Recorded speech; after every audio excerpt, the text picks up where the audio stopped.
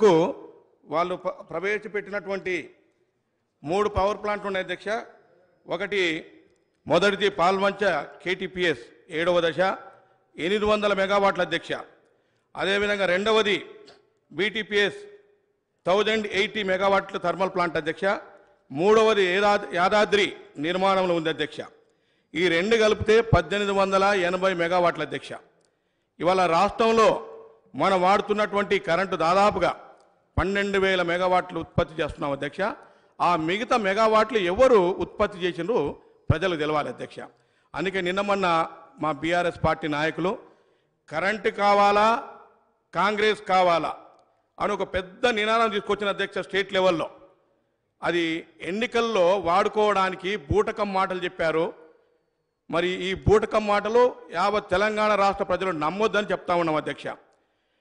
Congress current వెలుగుల వెనుక కేసీఆర్ అబద్ధపు చీకట్ల అధ్యక్ష అదేవిధంగా కేసీఆర్ కట్టినవి మూడు అధ్యక్ష దాంట్లో రెండే ఇవాళ ఈ కరెంటు ఉత్పత్తి జరుగుతున్నాయి అధ్యక్ష. మూడవది ఆన్గోయింగ్ ప్రాజెక్ట్ అధ్యక్ష. అన్నిటికీ మించి మరి గతంలో కాంగ్రెస్ పార్టీ ఉన్నప్పుడు ఏ రకంగా ఈ ఉత్పత్తి జరిగిందంటే అధ్యక్ష దాంట్లో ముఖ్యంగా థర్మల్ పవర్ ప్లాంట్ అధ్యక్ష. పాల్వంచ కేటీపీఎస్ రెండు వేల నాలుగు వందల అరవై మెగావాట్ల అధ్యక్ష. చెల్పూర్ కాకతీయ పదకొండు వందల మెగావాట్ల అధ్యక్ష. మూడవది రామగుండం ఎన్టీపీసీ రెండు వేల ఆరు వందల మెగావాట్ల అధ్యక్ష. కాంగ్రెస్ పాలనలో హైడల్ ప్రాజెక్టులు శ్రీశైలం తొమ్మిది వందల మెగావాట్ల అధ్యక్ష నాగార్జున సాగర్ ఎనిమిది వందల పదిహేను మెగావాట్ల అధ్యక్ష. మరి ఇవన్నీ కాంగ్రెస్ పార్టీ కట్టిన ప్రాజెక్టులు కావా అధ్యక్ష? ఈ బీఆర్ఎస్ నాయకులకు గతంలో పరిపాలించిన మంత్రులకు ముఖ్యమంత్రులు కనబడట్లేదా అని అడుగుతున్నాను అధ్యక్ష. ఇవాళ ముఖ్యంగా మరి వాళ్ళు కట్టినటువంటి ఏవైతే రెండు పవర్ ప్లా పవర్ ప్లాంట్లు ఉన్నాయో దాంట్లో ఒక పవర్ ప్లాంట్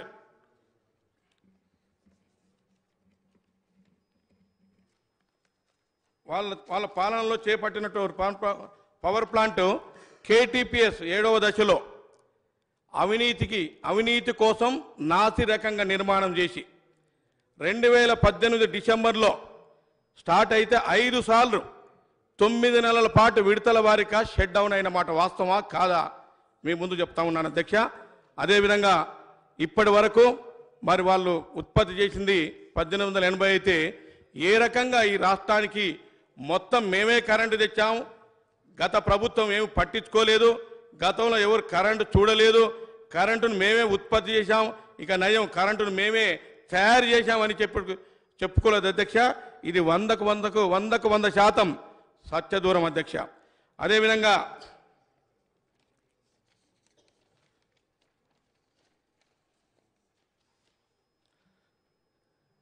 ఒక చిన్న ఎగ్జాంపుల్ చెప్తా అధ్యక్ష. శ్రీశైలం శ్రీశైలం లెఫ్ట్ పవర్ ప్లాంట్లో ట్వంటీత్ ఆగస్ట్ ట్వంటీ ట్వంటీ. ఆ రోజు సాయంత్రం ఒక ఫైర్ యాక్సిడెంట్ జరిగింది అధ్యక్ష. ఈ ఫైర్ యాక్సిడెంట్కు ఒక మాజీ సి సిఈ గారు అంటే రిటైర్డ్ సిఈ గారు వారి అనుచరులు అక్కడ బ్యాటరీని చేంజ్ చేయాల్సి ఉంది అధ్యక్ష? ఆ బ్యాటరీ వన్ టు టూ ఇయర్స్కు ఎవ్రీ వన్ టు టూ ఇయర్స్కు చేంజ్ చేయాలి అధ్యక్ష? వారి అనుచరులను వారి అనుచరులకు ఆ పని ఇప్పించి తానే స్వయంగా అక్కడ వచ్చి వాస్తవంగా అది రన్నింగ్లో ఉన్నప్పుడు ఆ బ్యాటరీని పెట్టకూడదు అధ్యక్ష షట్ డౌన్ చేసి అంటే మోటార్లను ఆపిన తర్వాత అది పెట్టాల్సి ఉండే. దానికి విరుద్ధంగా ఆ షట్ డౌన్ చేయకుండా ఆ బ్యాటరీని మార్చడం వల్ల రివర్స్ కరెంటు పాస్ అయి అది షార్ట్ సర్క్యూట్ అయి ఆ రోజు తొమ్మిది మంది దాంట్లో ఏడుగురు ఇంజనీర్ల అధ్యక్ష ఇద్దరు ఇతర ఉద్యోగస్తుల అధ్యక్ష. సాయంత్రం పూట అక్కడికక్కడే మరణించడం జరిగింది. మరి దీనిపైన అప్పటి ప్రభుత్వం ఎక్కడ కూడా ఎంక్వైరీ చేయలేదు అధ్యక్ష. ఇప్పటి వరకు నిజ నిజాలు ఏమిటని ఇప్పటి వరకు తెలియదు అధ్యక్ష. ఆ రోజు జరిగిన సంఘటనను ఎంక్వైరీ చేద్దాం కనీసం విజిట్ చేసొద్దామని చెప్పి మా నాయకులు పెద్దలు రేవంత్ రెడ్డి గారు అదేవిధంగా బట్టి విక్రమార్క గారితో పాటు చాలామంది వస్తే వాళ్ళను చూడనీయకుండా ఎక్కడిదక్కడ అరెస్ట్ చేసి ఆ సంఘటన స్థానానికి వెళ్ళకుండా ఆ రోజు అంత అరాచక పరిపాలన చేసింది ఎవరు అధ్యక్ష? సబ్జెక్టు పవర్ పైన మాట్లాడుతూ ఉంటే ప్రతిపక్షం పారిపోయింది అధ్య- అధ్యక్ష ఒక్క సభ్యుడు కూడా లేరు. ప్రతిపక్షం పారిపోయింది ఒక్క సభ్యుడు లేరు. అంటే వాళ్ళు యాక్సెప్ట్ చేసిండ్రు. సమాధానం చెప్పుకోలేక. అయితే ఇప్పటి వరకు అధ్యక్ష అక్కడ సిక్స్ యూనిట్స్ పనిచేస్తున్నాయి అధ్యక్ష. ఫోర్త్ యూనిట్ ఈ రోజు వరకు కూడా యూసేజ్లకు రాలేదు అధ్యక్ష. స్టార్ట్ కాలేదు అధ్యక్ష. దాని నుంచి దాదాపుగా ప్రభుత్వానికి నూట యాభై కోట్లు నష్టం వాటిల్లింది అధ్యక్ష.